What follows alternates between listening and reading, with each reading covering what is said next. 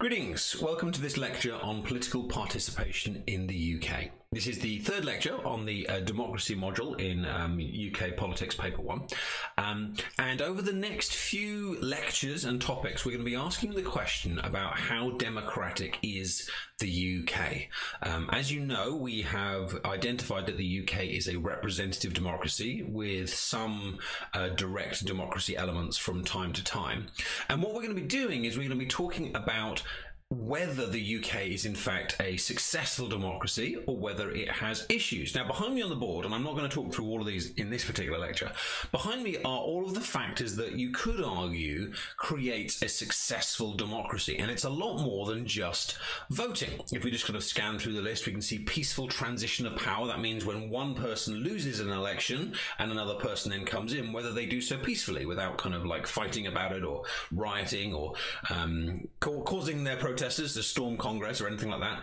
Um, free elections, fair elections, participation in politics, um, freedom of expression and information. Now, if you compare our system to perhaps, say, another country like North Korea, China, and things like that, you can see that actually we're, we're pretty strong down that um, left hand side. Although the one that we're going to be talking about, particularly about today, is this widespread participation in politics, which is the, the, the fourth one down. Just behind my head here freedom of association to join um, various groups and parties, like to join a political party, to join a pressure group. Yes, I think we have that more or less in the UK, unless it's an extreme organisation. Protection of rights and liberties, rule of law, independent judiciary. We've talked a lot about the Supreme Court over in our previous module, so we know that actually the UK has systems in place for that. Um, there are debates over particular rights and liberties and about the Human Rights Act and so on, but you know that we're not too bad on that one. Um, and about limited government, well, that's about to what extent the executive is limited, the, um, the, the system of checks and balances. You know that the UK has some strong things there and some issues there. And I hope that by looking through this slide here, you're starting to kind of see that the UK will score pretty well, but will have certain issues in key areas. And that's why I want to talk about this participation um, topic today because this is definitely one of the areas where the UK um, does struggle in that we aren't really anymore a society of participators in politics in the traditional sense. And as you can see just behind me here, it says a healthy democracy has high levels of participation. I'm just behind my arm there. And the argument for that is if you think about that quote about democracy from a couple of lectures ago, that democracy is of the people, by the people, for the people. Um, a democracy is ruled by the people. Polis, d- democracy is, is about. Um, uh, sorry, polis meaning city. A, democracy is about kind of like self government by the people. And if people aren't involved or participating, then there are issues with whether actually it is government by the people or whether it comes down to a, a, a smaller elite group um, in some way. So let's have a little look um, at a bit of an overview. How can you participate in the UK? How can you, me, anyone get involved? Well, the first obvious way is that you can stand for office to be a local councillor, to be an MP.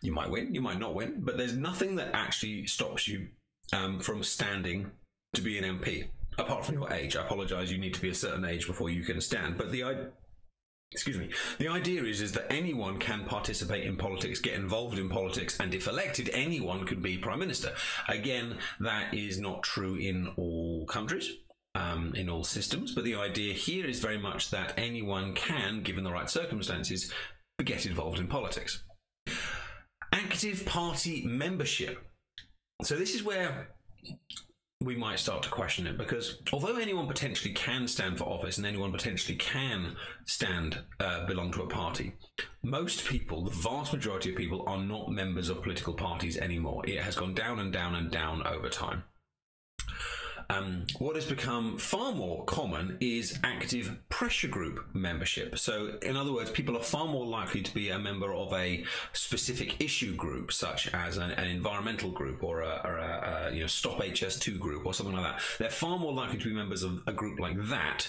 or support a group like that, or like you know hashtag BLM or something like that, than actually join a political party. This seems to be the way that the UK has been trending over the last 20, 30 years. Is that we've we've moved we're moving away from party party political participation to single issue pressure group participation. Um, I'm not going to read out all the bullet points. You can see them for yourself. You can pause the video at any point if you want to have a look at them. Um, you can also participate kind of passively um, in, a, in either a political party or a pressure group. You can kind of be a member and you can donate and you can give money without actually actively being involved. This is also relatively common in the UK. Um, uh, most of us, of course, have jobs. We are busy, and many of us prefer to embrace a bit of capitalism and pay into an organisation without necessarily giving it any of our time. And of course, that does raise questions again about how how much we are participating in in in democracy and making decisions and and being involved. Another way we can participate, we're getting to more in specifics here, is that you can recall MPs. So we, uh, one of the later one of the later ideas that's going to come up is this idea of um, uh, voting in elections. And of course, um, you all understand that, and that's probably the most common way that you might think about people getting involved in politics. But you can remove your MP between elections using the Recall of MPs Act, uh, which I think came up in 2015. Yeah, here we go.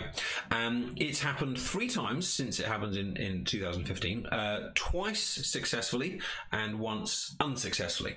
And basically, what happens is, is that you sign a petition um, and if you get a certain percentage of a constituency to sign a petition, petition, which is participating, then it triggers a by-election, which is like a general election in just that one constituency, and you can try and unseat your MP. Now, once there was a, a, a petition, and then the MP just won their seat back again.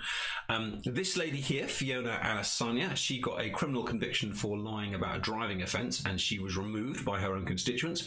And there's another gentleman called Chris Davies who was also removed uh, for um, an expenses scandal.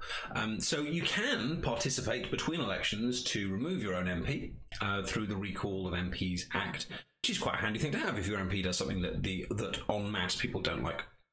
This one is becoming far more common. You can be a digital activist in the UK. You can sign e-petitions, support a cause, um, change.org, 38 degrees. Yeah, these are all websites where you can sign petitions, you can get involved. The government has its own um, participation um, websites now. Um, maybe maybe if I, if I show you the website, it would be good for you to pause the video here and go and have a little look at it. Um, I'll just show you it. Uh, so I've just googled uh, petition.parliament.uk. Uh, this shows you all of the active active petitions that people are signing. Uh, you can see uh, stop the rising number of ear crop dogs in the UK has got 179 signatures in the last hour. Uh, people are very angry at the moment about the idea of COVID vaccine passports. Um, make dog theft a specific criminal offence. Lady Gaga is there. Permit larger wedding guests, uh, larger weddings based on guests testing ne- negative. Um, now, the way these petitions work is that they have certain thresholds. If a petition reaches a certain threshold, the government has to respond. Uh, if it gets 10,000, and you can see some of the responses here. If it gets 100,000 signatures, it will be triggered for debate in Parliament um, and, and, and so on up. And somewhere I probably should have looked at this in advance. Uh, you can see some of the most successful petitions um, that there have been, um, and some of the biggest ones. Might be you can see the one here about ending child food poverty. Um, I think some of the biggest ones was actually a, a Remain petition after uh, after Brexit occurred. There was a petition to Remain, uh, which got millions and millions and millions and millions. Um, so have a, have a little look through that website, see what you think. And it, but it's digital activism um, has become an increasing way that people in the UK get involved in in politics, um, as well, of course, as things like kind of getting involved in social media and being involved politically by posting about it and talking about it. But of course, that's very different from these kind of more official ways of getting involved that you might see here on the, the left. And of course, um, you can vote, and I've deliberately left that one to last because it's although it's perhaps the most obvious one, I don't want you to miss out all of these other ones that that, that are that are ways of getting involved and participating in politics. Um, so I want you to be aware of voting, but I also want you to be aware that all of these count as well, and there may well be others I've, I've kind of missed off. And when you vote, there are lots of different ways you can vote as well. If I just move myself from one side to the other, like that, um, you can see that you can vote in a general election, but also think about representative democracy lecture last week. You can also vote in local elections, in regional elections, and of course, in a form of uh, direct democracy, democratic uh, politics, you can vote in, in referendums and things like that as well. There are also in in some constituencies, it's very rare in the UK, but you have something called open primaries, which is where before an election you actually vote for the candidates. Uh, that, uh, you might have heard me talk about these in regards to America. Um, America has these all the time, which is where before the election you have an election to see who's in the election. So if you think about Bernie Sanders versus Joe Biden, that was a primary to see who would be the Democratic candidate. Um, go back eight years to Donald Trump, and you had Donald Trump versus Ted Cruz versus Jeb Bush. Know, they were fighting to see who would be the uh, the Republican candidate. It, it, there are, I think it's like two or three constituents in the UK um, have primaries to like see who will be the Conservative candidate, who will be the Labour candidate. It's very rare. I personally think they're quite a cool idea. Um, uh, but we're, they're very rare, and they but they do they do sometimes um, happen. But now let me try and tell you why participation is a bit of a problem in the UK. And the first issue is is that political party membership has absolutely plummeted um, over the last. Um, so I'm just trying to make sure my camera is in the right place. I can't click on me. Uh, political party membership has absolutely plummeted over the last 50, 60, 70 years. Um, so this is uh, hundreds of thousands of memberships. So in, in, the UK right now, Labour has the biggest party membership by far, it's, and it's not even close. But it's still pretty small. You know, it's, it's le- less than a million. Um, followed by the SNP, surprisingly, followed by the Conservatives, then Lib Dems, Green, perhaps UKIP, perhaps um, others. They do fluctuate, and of course, when you're a small party, gaining 10,000 or losing 10,000 is a big fluctuation. And so UKIP shot up and then shot down again before and after the Brexit referendums. The Lib Dems did a similar thing uh, when they gained and lost power and so on. Um, the SNP shot up and shot down around the uh, independence referendum and things like that. And Labour actually shot up under Jeremy Corbyn. It was one of the things that kind of pushed him to, uh, to, to his party leadership. But the point is here is that this is tiny. This is small. This is really, really small. There are some countries in the world where almost like the vast majority of people are members of a political party. If you look here, this is the membership as proportion of an electorate we're talking and this is this is us right now kind of 2018 19 20 21 we're talking that maybe 1% of the active population is a member of the labour party 1 in a 100 and actually all of the other ones are well below 1% so we're talking like 0.2% of the population are a member of the conservative party and it's probably less than that you know it's tiny it's absolutely tiny and not only that, not only is it small, it has also gone down. If you look here in 1970, it's it's up above at three percent, which is still small, which is still small, but it's very much gone down and down over time, especially for the Conservatives. Now, if I just move myself. Uh, it says here academic surveys suggest that in 2017, more than half of the members of the main six parties belonged to a higher ABC1 social grade. Fewer than half of all members were women, and fewer than 6% have ever stood for office within a political party organisation. So not only is the membership small, it's also fairly unrepresentative. Um, a, a, higher uh, ABC1 social grade, you're meaning higher earners probably university educated, and there's nothing wrong with that. But the point is, is that this political party membership is not spread across the country and spread across all different demographics. It's it's limited to almost perhaps a political class or an upper political class, perhaps. Um, now, this i this is this one here I find uh, quite shocking. This is the idea of how participation has changed over a longer period of time. And if you look here, back in 1952, Conservative Party membership it, it's up in 300,000. 300,000. Um, which is a significant proportion of the population. And as you can see, it's just come down and down over time. So this is a real change to our society um, that has taken place. There has been a general decline, if you want, actually a massive decline, um, that has taken place relatively slowly, but it has been a change of life that whereas before many people would have gone to their Labour club or their Conservative club after work. It would have been a, a, social club as well as a political club. That just doesn't really happen anymore. Um, Labour, the, the Labour Party did manage to boost. You like, you might well notice this, this like reversal of the trend here amongst the Labour Party. That happened when Jeremy Corbyn stood for election. Um, they introduced this something called the three pound membership, which meant you could join the party for essentially nothing. And uh, when when Corbyn stood for election, there was a big rise amongst very left wing people, um, and especially amongst the young, actually, and, many of them joined the Labour Party with a view to explicitly elect Corbyn. Um, and one of the issues with, and I don't want to get too much into this, but I think it's a really fascinating topic. One of the issues with having political party memberships that are so small is that a party can be pulled in this direction or that direction by a relatively small amount of fairly extreme people.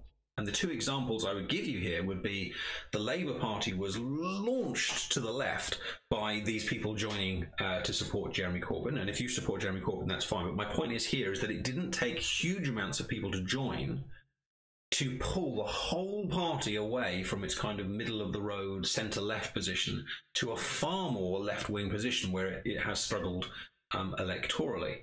Um, the same goes with the Conservative Party. Many members of UKIP after the Brexit referendum joined the Conservative Party, and you'll be aware now that the Conservative Party has pulled itself to a far more anti European um, position um, because it doesn't take as many people now to, to, to get that it doesn't take as many people to pull a party in different directions, which of course affects political participation. It affects the health of a democracy. When a small amount of people can control the rest by pulling the major political parties in different directions, you've got an issue.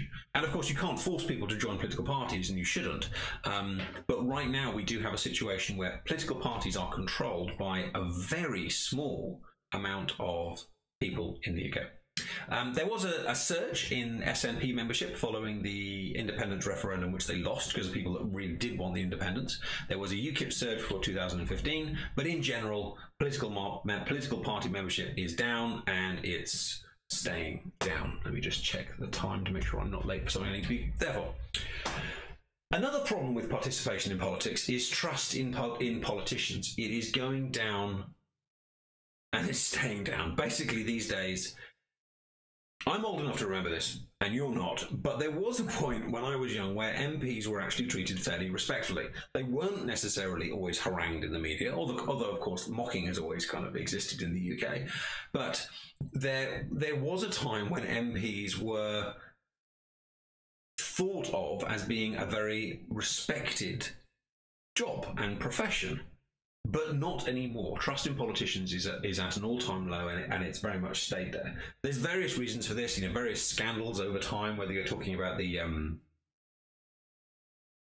Suez Canal scandal back in the, the 50s, various sex scandals like the Profumo, Profumo affair, various lies told by politicians over time, but one big thing you can talk about is the newspaper behind me here, which is in the uh, textbook, which I'd like you to have a look through, which was the expenses scandal um, in 2008 2009, which was when it was revealed by the Daily Telegraph that MPs had been claiming huge amounts of money on what they call expenses. So, for example, an expense is where you work for a job and you buy something for your job and then you can claim that money back. So, an example in teaching might be like, say, I go out and I buy a load of textbooks for you guys and then I can claim that money back on expenses. Or let's say I go and do a training course and so I pay for my train fare to go to a course and then that's that those expenses are to do with my job and so I can claim that money back. That's what expenses is, is for. However, MPs were using it to claim for mortgages that didn't exist, insurance that didn't happen, and in one famous case, an MP claimed for his expenses a £1,600 duck house for his um, for his pond. Um, MPs were abusing the taxpayers' money, uh, in essence. And this was a, a, a, huge deal at the time, and it was one of the more recent factors that really pushed down trust in all politicians. Um, and you can see here, this was a, a, one I found, a survey I found this morning. So this is from 2020. The red here is the number of people that never trust or not very often trust um, various politicians. So Keir Starmer, 33 trust, 19% don't. Still quite big. Jeremy Corbyn, you can see over half did not trust him. Boris Johnson, it changes over time, it has to be said. People have found him more trustworthy since Corona, but go, go pre Corona, almost half of the country did not trust him either. Um, and it's still a very small percentage that say that he is kind of trustworthy. You're talking one in five, one in, one in four. And government ministers in general, almost half of respondents say that they either don't trust, and over half say they don't trust them all the time we as a country do not trust our politicians, which is a problem if the idea is that we are supposed to be in a country where we elect our representatives and we trust them to make decisions on our behalf. If you don't trust your politicians, then you don't trust people to make decisions on your behalf, which means there's a problem with representative democracy. We're not joining parties, we're not involved in parties, we don't trust the people that have been elected by the parties. And on top of that, we are slowly and continually not even bothering to vote as well. Uh, I should, I should rephrase that word bothering because that, that sounds like I'm making a judgment. We are deciding, for whatever reason, to not vote.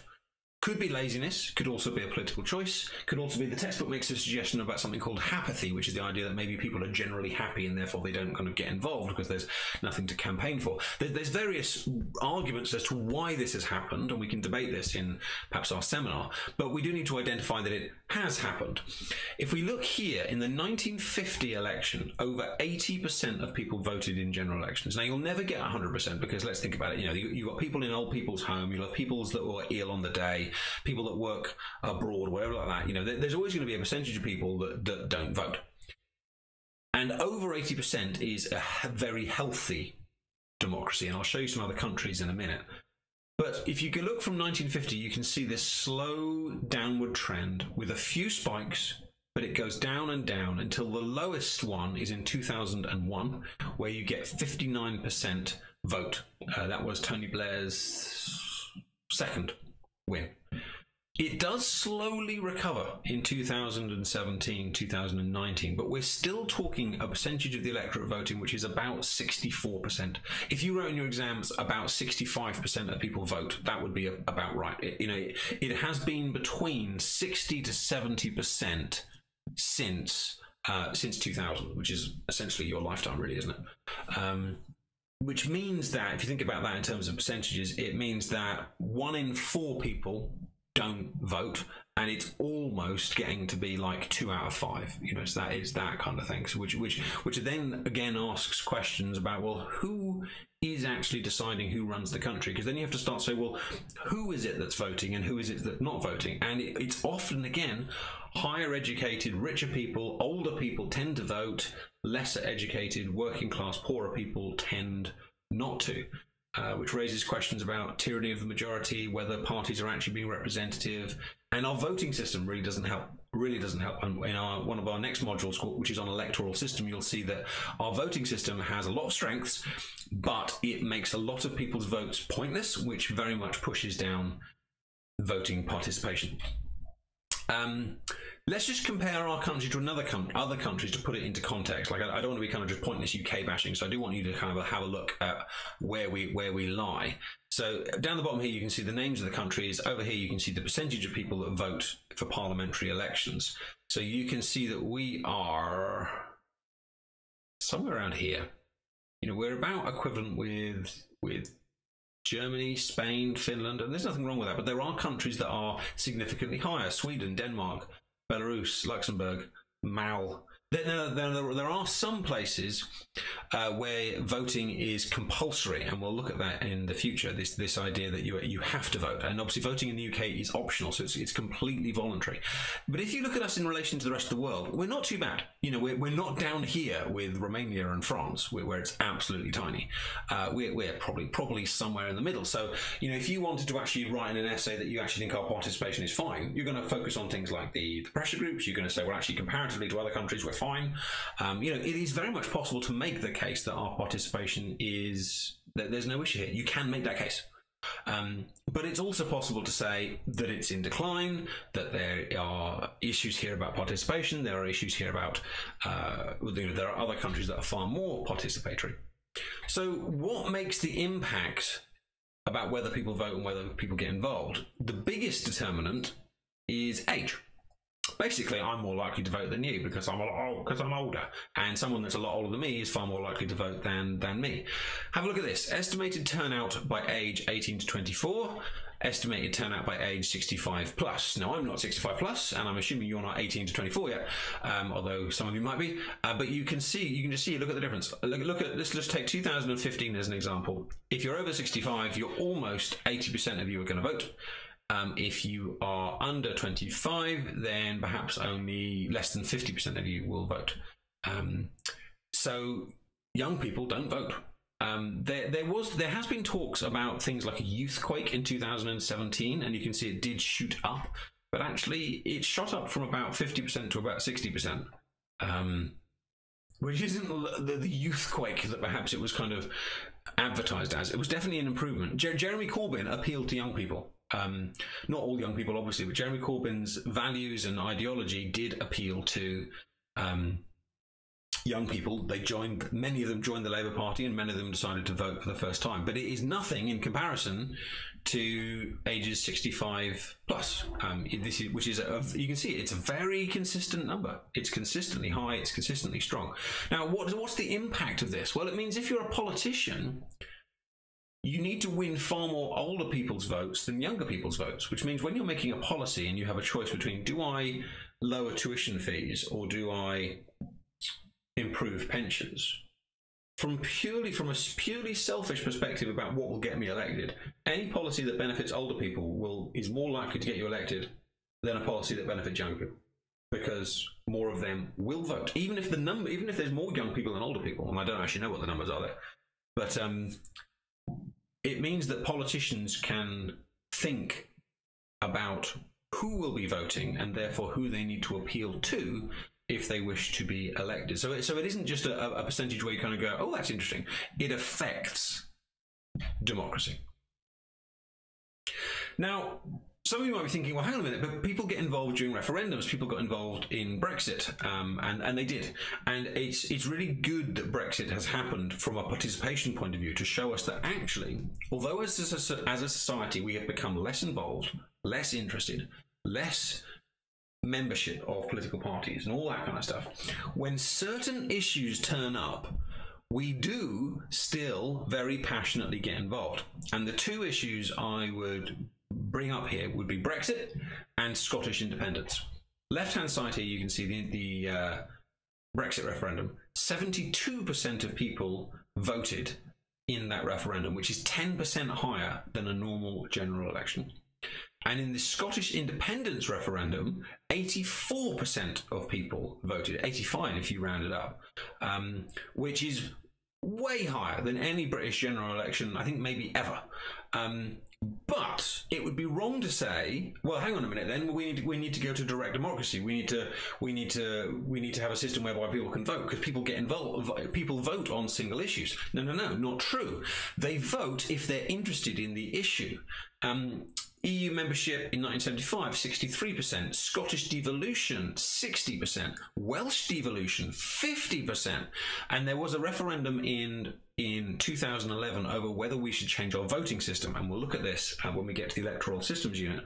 But we had a national referendum on changing the voting system that we all would use to elect our government, and only 42% of people voted. So we need to actually deduce from this that referendums don't get people involved. Certain topics or certain issues get people um, involved, um, and then you you can perhaps be the judge of whether then referendums are a good thing or, or democracy, direct democracy, kind of um, helps. Um, now, this slide I will get, I'll, I'll put into our kind of seminar group, and this gives you some links to uh, e-petitions and pressure groups and places and areas that people have kind of got involved. Um, but it shows you um, that the UK is generally getting more involved in, in pressure groups and, and e-petitions as their way of political involvement. Um, and we are very much getting involved in, in terms of social media. Um, and there's there's a link here that again I will send out for our seminar lessons um, for us to look at. But some famous um, participation, social media participation you may have heard about. Um, hashtag Black Lives Matter or BLM, hashtag Me Too, hashtag MAGA, obviously that's an American one. Uh, one below me here, Je suis Charlie. Um, if you haven't got a Twitter account um, and it doesn't ethically offend you, um, I would certainly recommend making one and having a look a few times a week because then you can see that oftentimes people are talking about football and Love Island or whatever, but people do get involved in politics on Twitter. It is a place where you can see kind of general trends about how people are feeling and what issues are going on. Whether it makes a difference, I think interestingly, you'd have to say before Trump, you might well make an argue that social media doesn't doesn't make much difference to politics. But since Trump's tweets have had huge impact and social media has been used hugely in the the three issues that I've kind of identified here, we can now see that, say, probably relatively confidently, that social media has become a huge tool in political participation. So there you go. So we've talked today about what a healthy democracy might be, um, and we'll be expanding on that. And then we focused particularly on this idea of political participation, and we've talked about the fact that perhaps there is a political participation crisis in the in the UK. Um, and I would like you to read um, in your textbooks um, the page numbers from um, 11, 12, 13. 14 yeah 12 12 to 12 to 14 i think is what i would like you to look at in detail taking some notes um, and making sure you've understood it and be prepared to talk about it in our um, next seminar. And, and that's from the from that textbook for any if any of you aren't sure. Thanks for watching like the video subscribe to the channel and i will see you in class. Bye bye